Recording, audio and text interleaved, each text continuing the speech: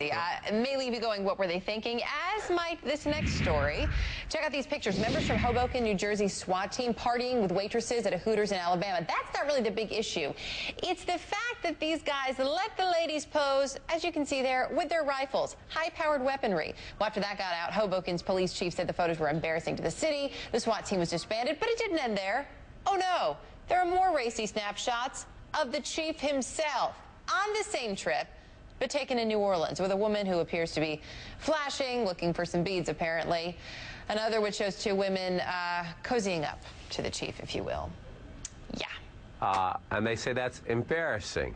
I hate to. how, how do they define humiliating? That's a segment for another day, my friend. We shall leave it there for now, then.